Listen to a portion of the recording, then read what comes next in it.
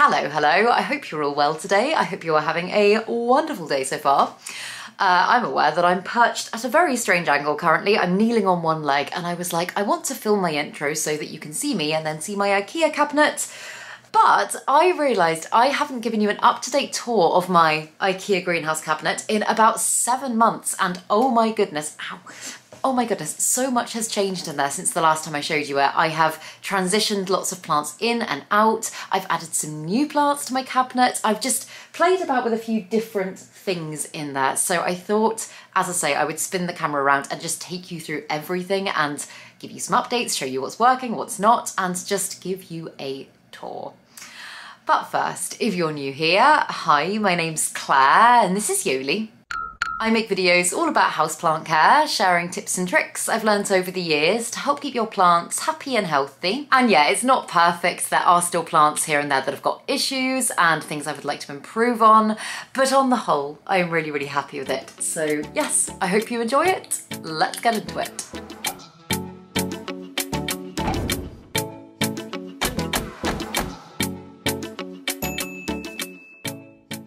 So before we get into the tour, I was just quickly going to say, if you've got questions about cabinet growing, if you want to know a little bit more about it, like why people do it, what the benefits of it are, the pros, the cons, all that sort of stuff, I have made a specific breakdown video on this, hopefully answering all of those questions. So I will link that down below.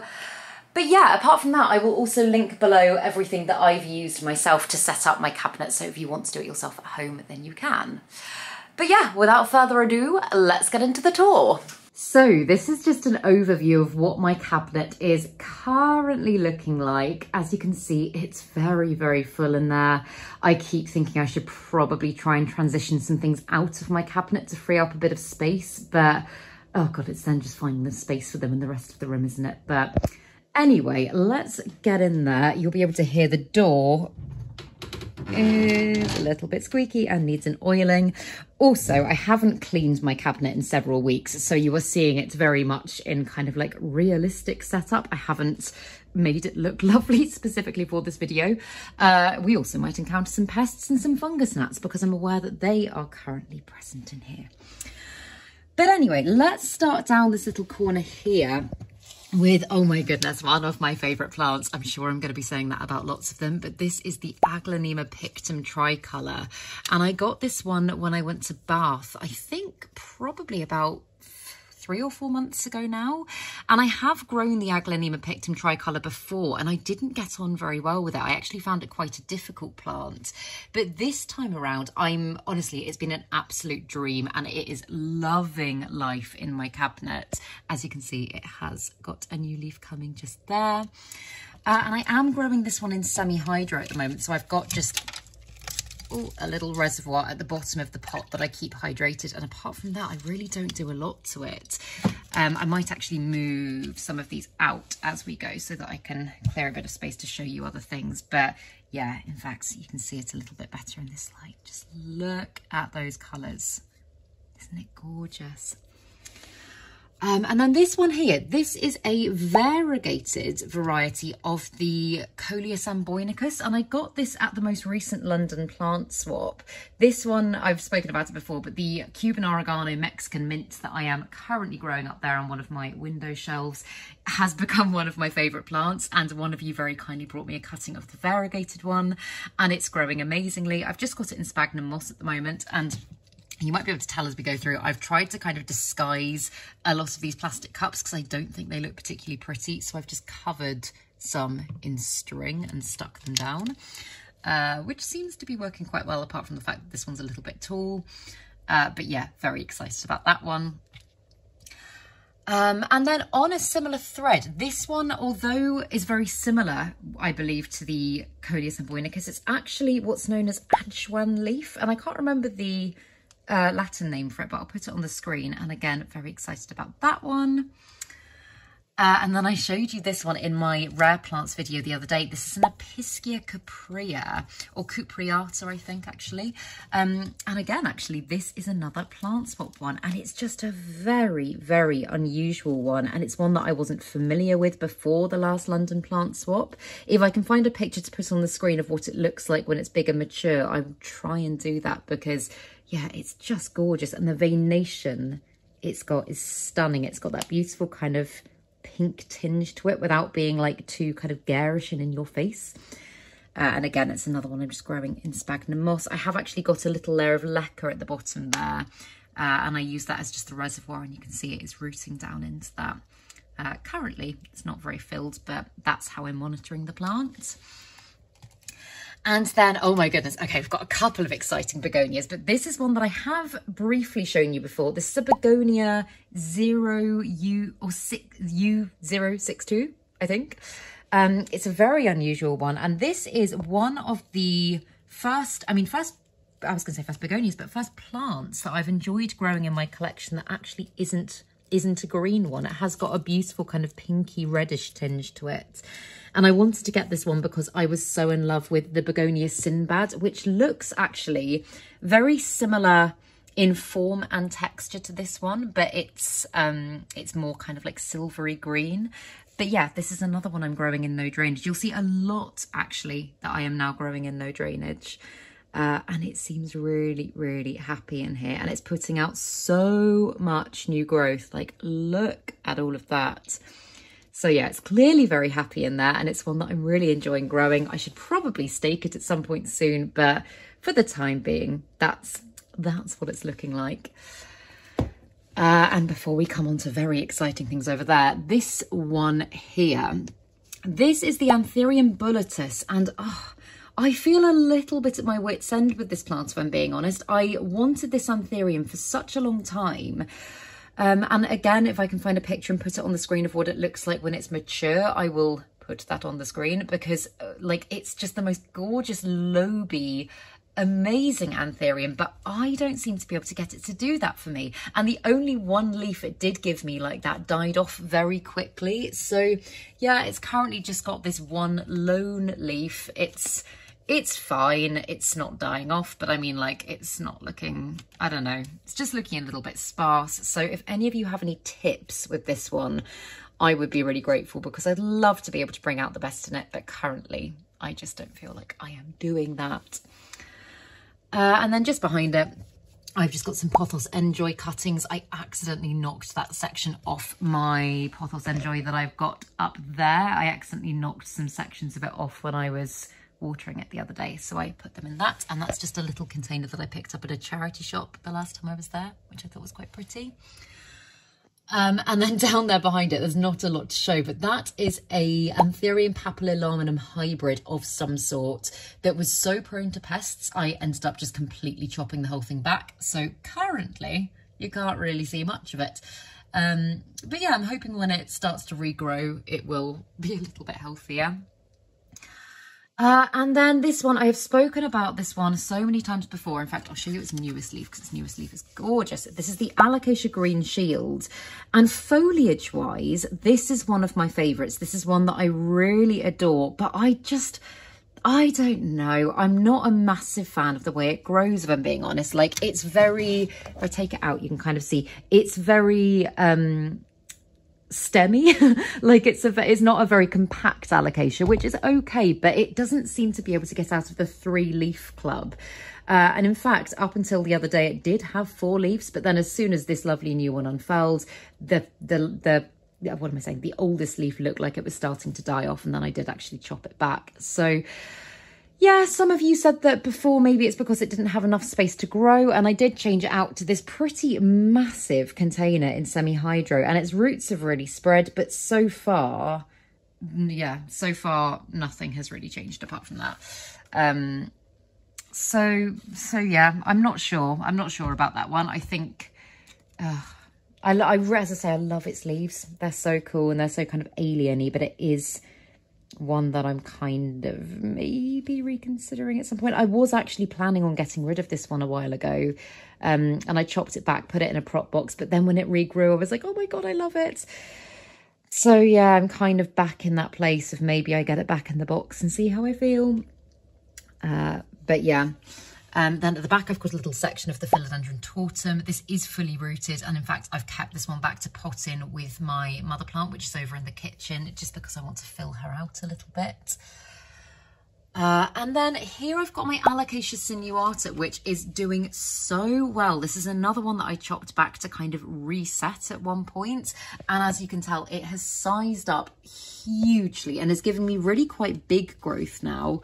Um, I'm a little concerned, in fact, I'm not going to touch the actual sections, but I'm a little concerned about these bits here because I think they might be fungal.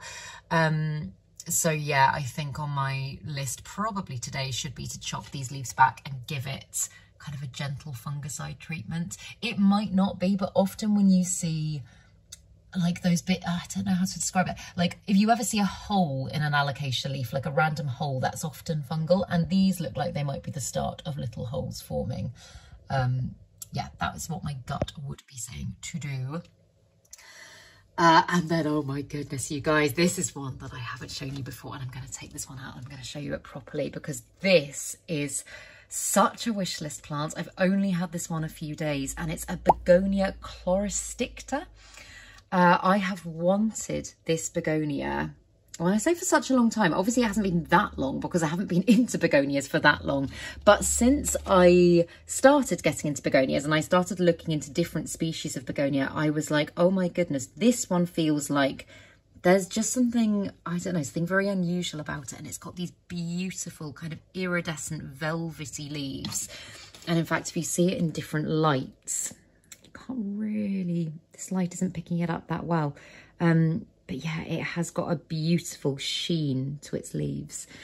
Uh, and I was a little bit worried about this one because I got it on Etsy and I ordered it from abroad and I was like, that is risky. That's always a little bit risky with kind of very sensitive plants. But at this time of year as well as the temperature's dropping and it was in the post for like six days, I was like, is it going to be okay? Uh, and obviously it is relatively early days, but it has acclimated really, really well so far. Uh, as I say, I know we're only on day three or four, so it is early days, but it's really perky. It lost a couple of leaves in transit, but I'm not too worried about that. It's got this beautiful leaf just there and these little ones down here as well, which are just starting to kind of emerge with lots of growth points as well. There's lots and lots on the stem here. So so yeah, this is one that you might be thinking, if you've literally just got it and it's come from abroad, why have you got it in your cabinet, Claire? Uh, and I was just thinking, honestly, I was just thinking about the best thing for the plants. I know, obviously, pest-wise, you do have to be very careful when you bring new plants into your collection, but this is such a special plant to me and one that I don't want anything to happen to. I was like, you know what? This, my cabinet is a stable, humid, warm environment with very good light. I just want to make sure that the plant is is happy. So yeah no regrets. Um also on the note of light i know i've said it before but i use mother grow lights in my cabinet. I will link them down in the description box below. In fact i think i might have a discount code for them. I can't remember but i will link it down below. Um but yeah this one i just i'm i'm obsessed with it at the moment. Absolutely obsessed. So uh yeah stay tuned there maybe more exciting things coming with that plant. Well, when I say that, I basically, one of the reasons I got this plant is because, and in fact, I should not have it right next to the plant I just said could have something fungal going on with it. Um, but one of the reasons I got this begonia is because I'm I'm I've never tried it, but I'm quite interested in begonia hybridization. It's something I'd quite like to try at some point, and this one does seem to make beautiful, beautiful hybrids. So who knows whether or not that will actually happen and I'm actually going to be able to succeed with that. But that is something that I am quite excited by. Uh, but then coming back down here, also, um, just a note on this, because this is a pot that I actually made quite recently. I'm thinking I might do another pot making video at some point. So let me know in the comments if you'd like to see something like that. I've got several. I know I've already shown you the kind of DIY things like this. Um, this was, I mean, originally this was just like, I think it was a, a white ceramic pot. Um, you'll see a few DIY things. There's another one there, in fact. Uh, but you'll see a few things as we go through. So if you want a full video on that, let me know and I will happily, happily make it. Uh, but then this little one, I showed you this one in my rare and unusual plants video the other day. This is the Hoya SP Tendon Red and obviously from the front it doesn't look like a huge amount but you turn it round and just look how beautiful that is i love that kind of maroony main vein that runs up it. It is so pretty. Uh, and yeah, it's a really unusual Hoya and one that I don't know many other people that are growing it. I'm very excited and feel very privileged actually to be able to grow it. So yeah, I've currently just got it in a no drainage system. Again, semi-hydro. Oh, God, this is dirty. Um, semi-hydro on the bottom and then just a chunky soil mix going up. And that seems to be keeping it happy so far. I'm just really excited about this one. I know it is a slow grower and it is going to take some time, but yeah, I'm just really looking forward to growing it long term. Uh, and then this is a little section of my Hoya Wilbur Graves. And again, I did a similar thing just with a cup, just to hide this cup. Um, this one is doing okay. Uh, I chopped up my Wilbur Graves about six months ago now, I think. And I did actually take some cuttings to plant swaps and stuff just because it's a Hoya that I thought I was going to just be obsessed over. When I first got it, I was like, oh my God, this is a wish list plant. I can't, I can't wait to grow it. And I don't know. I really like it, but I haven't been as like, I don't know. I think basically what I'm saying is I needed to kind of reset the plant, reroot the plant and try again from scratch because I don't feel like I was having a great time with it before. So this is the cuttings that are in fact very, very rooted now and could be potted up. Um, and I'm going to start again. I'm going to get it on a trellis and hope that it does good things.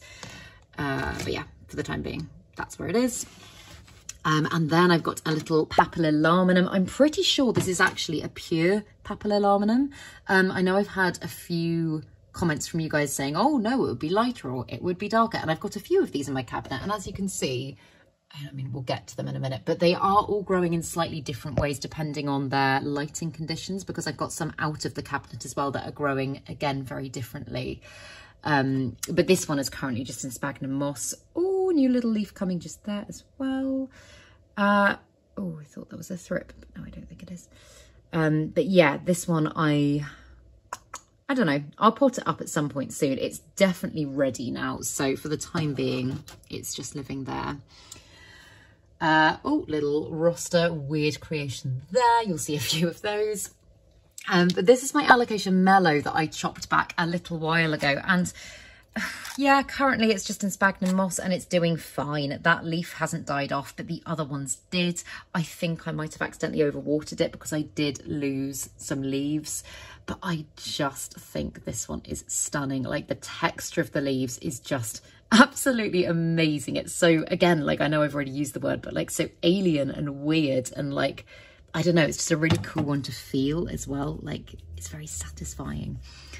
Um, and this is another kind of little DIY pot thing. This is uh, like, I don't know, I've got really into the look of vintage terracotta recently, but for some reason buying vintage terracotta is really expensive. So I've been thrifting a lot. I've been just like looking at different places. And this one is one that I actually got for 99p at a garden centre. Um, and I just made it look kind of vintagey. So again, if you want a pot video, then let me know. Uh, another little DIY pot just there as well. Um, and then, yes, in here, as I say, these are more of the papillilaminum seedlings that are, I mean, really sizing up quite nicely. I'm not going to take them all out and show you because they all look the same. Um, or not all the same, but you know what I mean. Like, they're all, they're just seedlings. Um, but yeah, again, I should probably pot them up. That one has got a beautiful, beautiful leaf. Uh, and then this little one up here, this is a Hoya davidcummingii. And again, I don't think I'm growing it in the best way. It's just been growing like this pretty much since I got it, to be honest. And yeah, I think I should probably pot it up and do a little bit more with it. It kind of reminds me a little bit of the Hoya Rosita. It's got a lot of similarities, but I believe it's their blooms that are really quite different.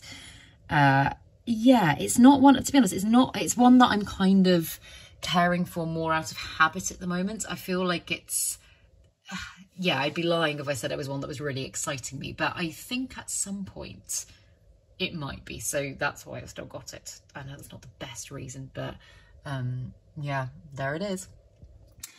Uh, and then this is the Hoya Kalimantan. And this one, so I absolutely love this Hoya. Uh, and when I did my, my full houseplant tour video, which I think was about six or seven months ago now, this one had some new growth coming on it. And I accidentally knocked off the new growth. And in fact, I knocked over the whole tube and the whole thing spilled out and the new growth point died back. And since then, it hasn't given me any growth at all. You can tell it has sun stressed a little bit here and it's looking quite pretty.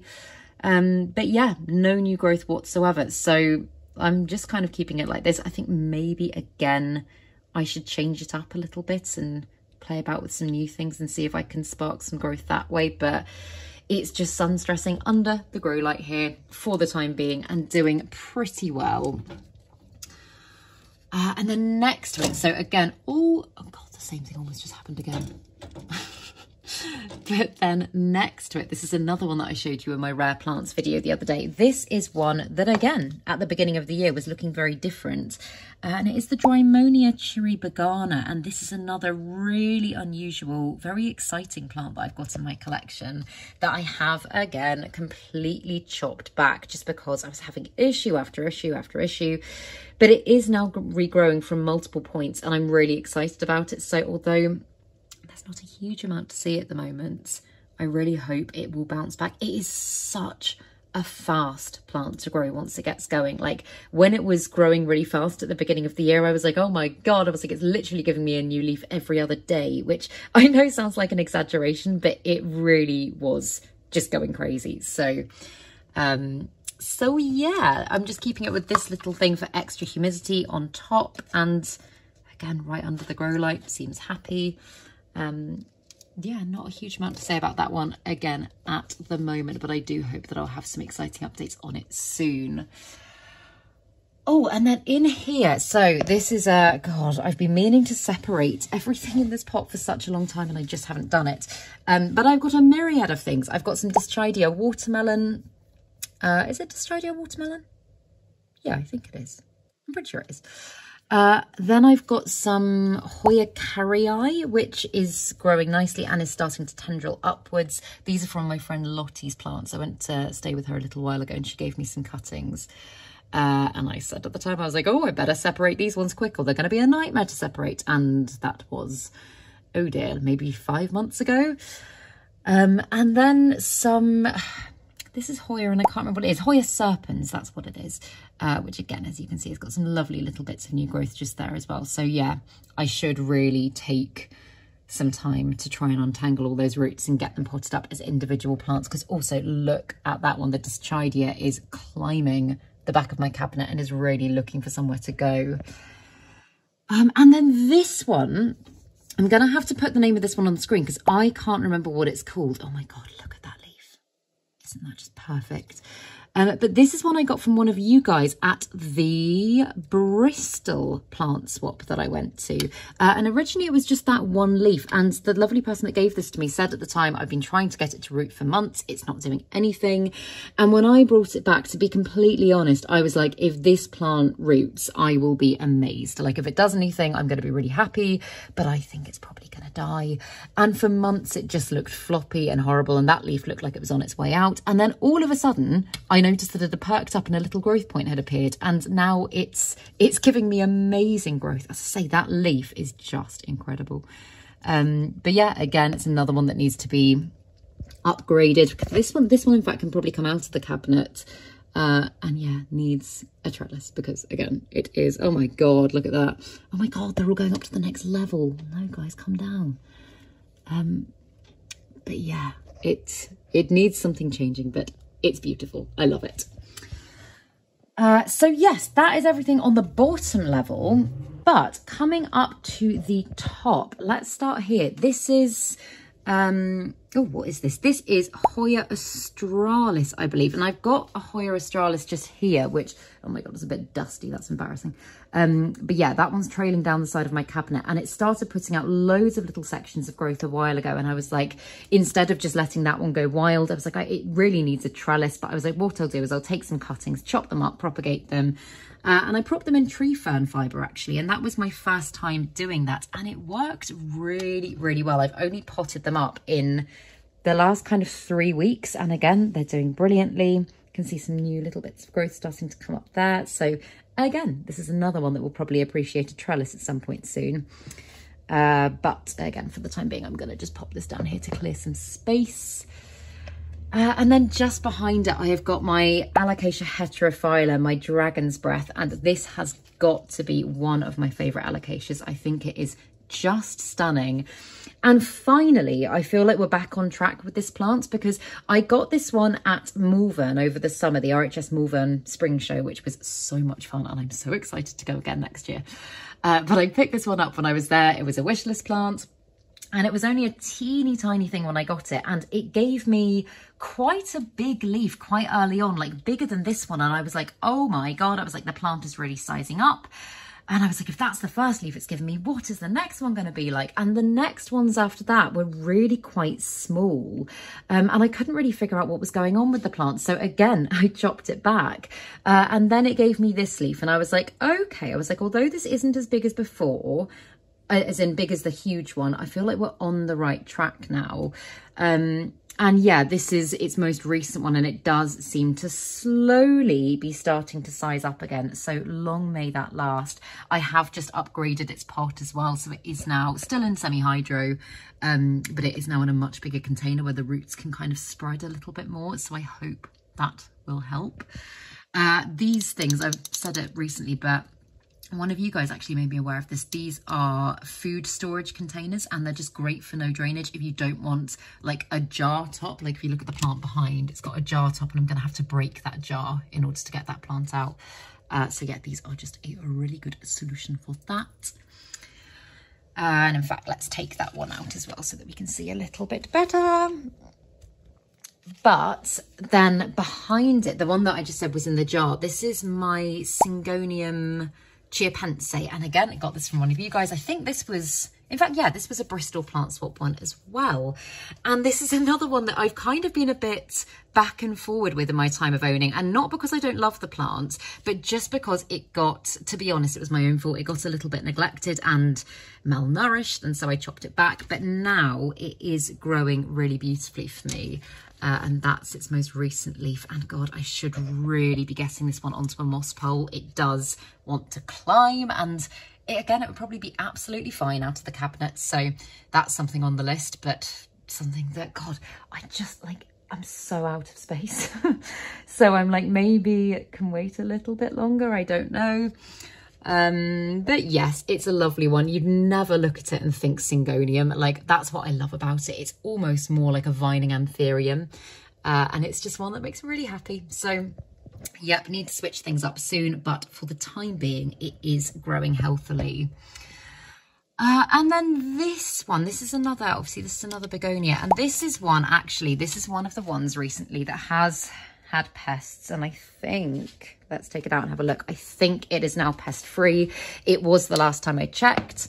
Um, but it was living through in the bathroom for a little while because it had thrips and we are in that season at the moment. We're in the time of year for thrips and when they happen, it's very frustrating, but there's not a huge amount you can do about it apart from just continuing to pest check, pest treat and put the correct measures in place. Uh, but this is a begonia black forest, I believe. And I think it's a really lovely one. I love its polka dotty leaves. Uh, but yeah, you can see, like, look at that damage there. Yeah, this leaf, I think, is probably actually on its way out. Um, and again, it's another one I'm growing in a similar method with no drainage. And it's got gorgeous backs of the leaves. Yeah, in fact, they just really don't look very healthy. Um, I am due for a predatory mite delivery as well. So I will be reintroducing some predators into my cabinet because currently I've just been treating this one with horticultural soap and neem oil. Uh, and I haven't seen any pests on it for three three-ish weeks now. Um, and I know I would advise, obviously, continue to isolate if you possibly can. But at the end of the day, I also need to think about what the best thing for the plant is in terms of its recovery. And a cabinet environment really is the best and it does have the best light and everything. So uh, in fact, now I've got my new grow light set up over there, I might be able to create more of a little isolation zone. I'm not sure, but yeah, for the time being, it has been back in the cabinet and nothing else around it has been affected, which is good. Uh, but then, oh, next to it, and in fact, I got these off Amazon recently. I know they're a little bit silly, but I thought they were adorable little copper mushrooms. Um, my Alocasia Platinum. This one is another one that I'm going to say is one of my favourites, but it really is just, look at that. Isn't that amazing? Isn't that just amazing? And this one is constantly giving me new growth. Every new leaf is just getting bigger and bigger. And it's honestly one of my easiest alocasias. I think because I've got it in a spot where it's really happy. Again, it's in no drainage. It just has given me touchwood, no grief at all and just grows so beautifully. Like I could not be happier with this plant and I just, the colour of it, everything about it, it just ticks, oh, bit of guttation there, uh, ticks every single box. Like it's just so bluey, silvery, gorgeous, absolutely gorgeous. Um, and again, this is, oh, I know I'm talking about pot stuff and I was saying I'd do a full video on it. Um, but again, this is just a way that I found to hide tower pots because like tower pots often stick up out because they're so tall. They stick up out of the top of normal pots and they look a little bit naff. Uh, I've just um, put this little extension on the top so that you can't see that. And it kind of just looks like part of the pot, which I quite like. Um, but then at the front, this is, so so this is either an Alocasia Black Velvet or an Alocasia Ninja, and I can't remember what it is. It's just one that was in my prop box, and I decided to pot up a couple of months ago, and I was like, yep, I was like, I don't know what it is. I think it's probably a Ninja, only because I haven't had a Black Velvet in my collection for quite a while, and I don't know where the corm will have come from. Um, but stranger things have happened. I have taken out weird things from my prop boxes before and been very surprised with what grows from them. So yeah, yeah, not sure. Uh, and then this weird one, this is one that I got uh, in my Eastern Tropicals order recently. And I was really baffled by this because I was like, is it an alocasia? Is it a syngonium? What is it? Like loads of you guys had lots of very random theories. And it's one that I actually was not familiar with. And it's, uh, I'm going to just say caladium, but Zom Zomathoma or whatever you say. Um, taro and uh, in fact it has a better name than that i'll put the name the scientific name on the screen um, but yeah it's commonly known as the blue elephant ear and it has the potential to grow absolutely huge. And I was a little bit worried about this one when I first got it because within like 24 hours, about three of its leaves had died back. In fact, you can see one just about to die off here as well. And I was like, oh no, it's dying already. Like, is it just going dormant? I know caladiums can do that.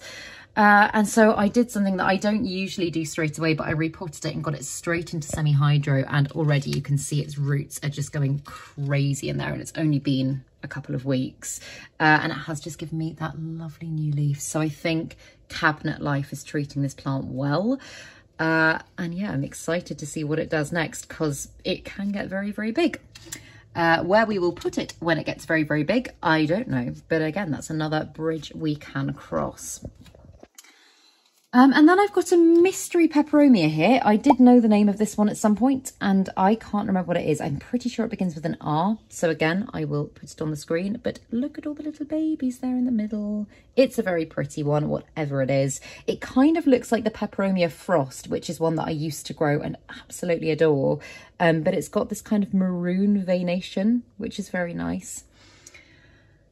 Uh, and then this little one, you might think this is an Adansonii, uh, but this is actually a Laniata, and I've got a few Laniatas that I'll show you, Monstera Laniata.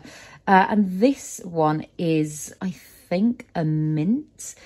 Um, and as I say, it does look incredibly similar to the Adansonii, but I believe the difference between the Laniata and the Adansonii is that the Laniata is a lot more matte and not as shiny, and also I think when it does get its fenestrations, like as it matures and it gets its fenestrations, it kind of, they form in rows more so than the Adansonii. I think I'm right in saying that.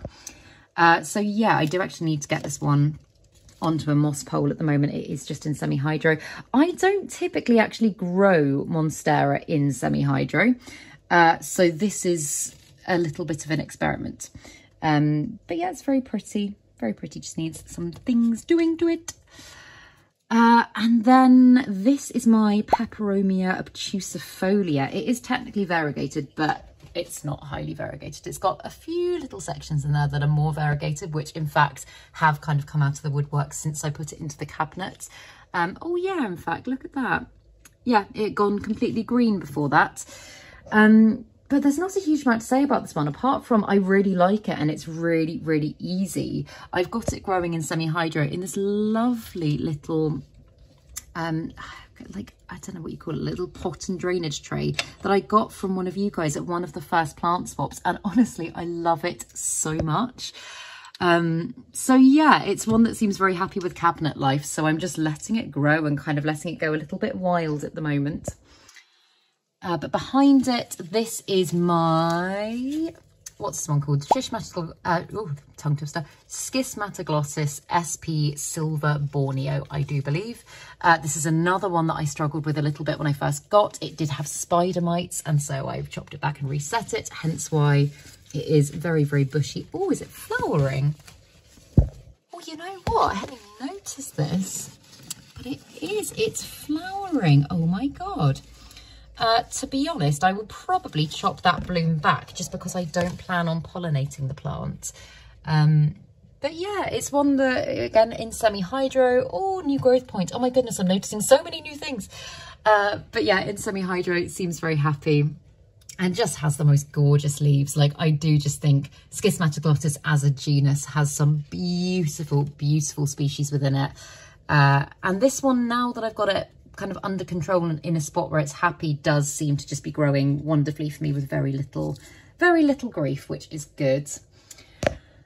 Uh, and then coming up here, I've got, uh, I've got a section of the variegated Rhaphidophora tetrasperma uh, and I chopped up the mother plant very recently to take cuttings of to the last London plant swap I went to.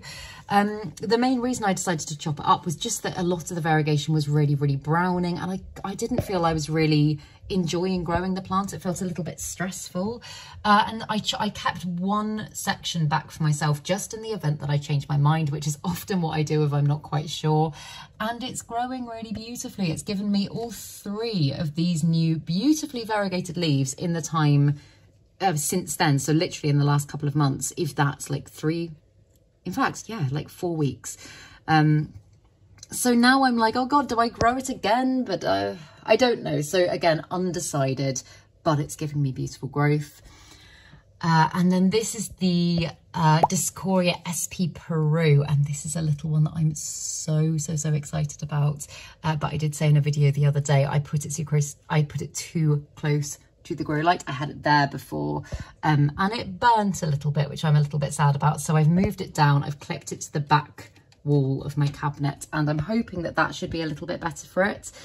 But it is a very, very sensitive plant and it does need to be kept very hydrated at all times. So yeah, I'm growing it in moss and just making sure that it's constantly, constantly moist. Um, but then up here, this is the Hoya globulosa Welsh Mountain Zoo. And this one actually, I have just noticed, has got a new growth point just there, which I'm quite excited about because this one seems to have gone a little bit dormant. It hasn't done anything for me in ages. And it's such a cool Hoya. It's such an interesting one. And it's so like, if you look at it up close, it's really fuzzy and furry and like, I don't know, it's just a very satisfying one. Um, and again, I think potentially I'm just not being the best plant parent to this plant. I don't think I'm kind of actively trying to bring out the best in it. I think it is just one of these ones that I love, but I am not paying enough attention to. So, so yeah. Um, but the fact it's giving me new growth is very exciting. So I think again, probably a repot and a retrellis is the best way forward. Uh, and then these two little ones, this one here and there, are two that I showed you the other day. Here I've got some variegated Crassula ovata.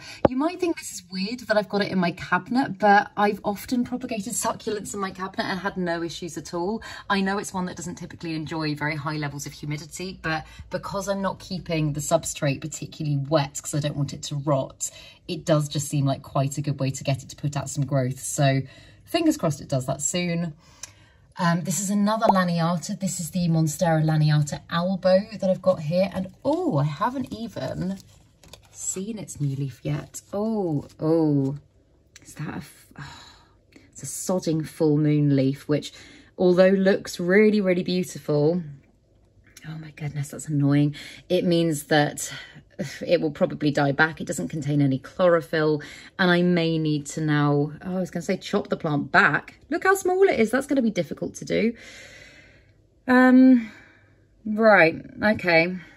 We'll come back to that and rethink because, yeah, I was hoping it would stay kind of lovely and half moon, half, half moon, half moon variegated like that. Um, yeah, that leaf is essentially doomed and I may need to take action, but for the time being, it can stay up there. Uh, and then this one here, this is just a little random cutting, which again, I do believe I picked up at a plant spot. This is a Scindapsus treubii moonlight, and I got rid of my mother plant of this over a year ago now, just because I was like, it is so slow to grow and I don't find it I don't find its growth particularly satisfying, but actually since I've had it right up here in my cabinet, literally like that distance from my mother grow lights, it has been growing much quicker. So I think maybe this is just a Scindapsus that needs really high light in order to thrive. Um, and although I don't, oh, I don't know, I was going to say I don't see myself getting a full plant again. Maybe I do. But at the moment, I'm just enjoying growing this vine of it. And I think I'll probably train it to kind of climb somewhere at some point. Uh, but yeah, again, colour's gorgeous. And in fact, there's there is a similarity. Obviously, it's a vining plant in a completely different genus, but there is a similarity in this one and the leaves here. If you look at that, to the schismatoglottis that I was showing you a minute ago. Um, so yeah, it's very pretty. And if I stand back, I enjoy looking at it. So it's staying there for the time being. Uh, and now this one, this is a, another DIY pot, but not by me. This is a little roster one that Ross has made. Uh, and I will link his Instagram. Go and follow him, guys. He's so talented and he's making me so many lovely things. Uh, we've got like so many half-finished creations like everywhere, but this is one that I adore. I think it's so cool. Um, and the Aeschynanthus that's growing in here, I actually can't remember the exact species of Aeschynanthus, but it is variegated. Uh, however, obviously has lost quite a lot of variegation as it's grown and I was going to say matured, just as it's grown, it's actually got smaller. Um, and I've just spotted something that might need dealing with. Just saw the underside of that leaf and look at that. I think that's pest damage. Uh, hadn't noticed that before and can't actually see it. Ooh, on other leaves. No, but that is definitely something. In fact, I'm going to take that leaf off right now. What is that? Looks like it could be thrip damage to me. Yeah, right. I'll give everything a proper look over once I finish filming. Um, so that one. And then this is another Monstera laniata. And in fact, I know I said that that one was the mint. I think this one is actually the aurea and this one here is the mint. Uh, and again, this one, it's not growing in its in its optimum way. I've got it again in semi-hydro in a little pot that I've revamped. Um, but this one should be on a moss pole. That is absolutely how I should be growing the plant and I just haven't done that yet. So again, it's another thing on the list but its leaves are beautiful and the reason i'm growing it so close to the grow light up here again is because like if you just look at how variegated it is it does need very, very, very high light in order to put out new growth. And I can see it is putting out new growth, which is good. Uh, there's a little bit of browning there, which I'm hoping, I think actually that just looks like potential acclimation issues. But again, I'll give it a proper look over later. And then finally, yeah, finally, God, whizzed through these, um, is my Hoya parasitica black margin here in the corner. Again, this one is in a revamped, when I say pot, I think this is actually an old coffee cup.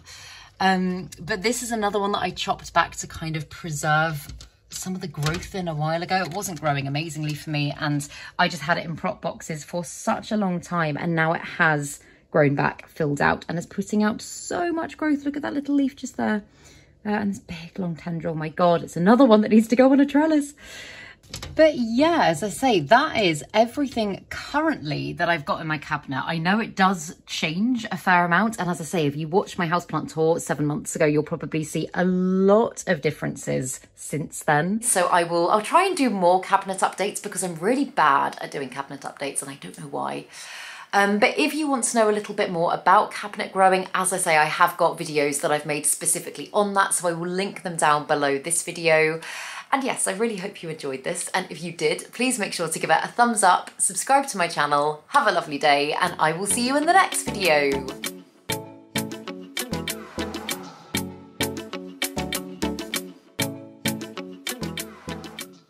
Stay sexy, plant lovers.